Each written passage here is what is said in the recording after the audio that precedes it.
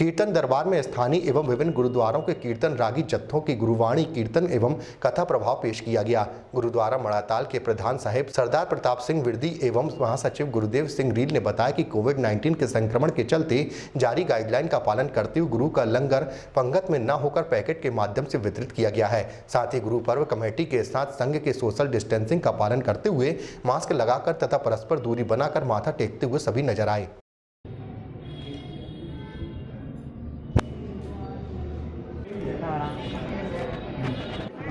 あと